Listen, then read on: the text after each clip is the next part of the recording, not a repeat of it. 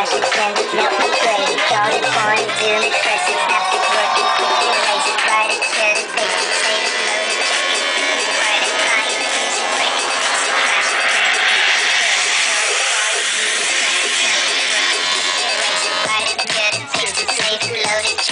Rewrite it, Fly it, Use it, Break it, Fix it, Crash it, Crank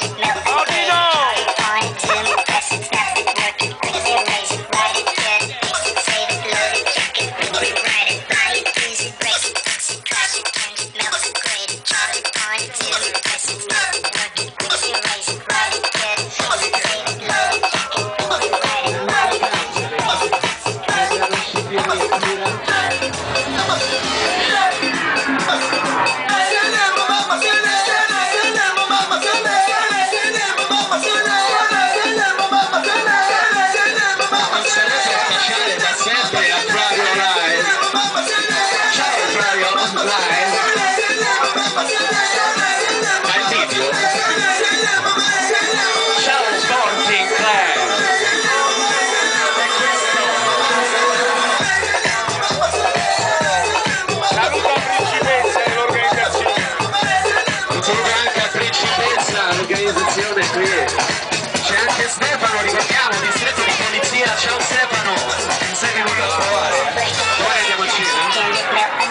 Charge it, point it, zoom it, press it, snap it, work it,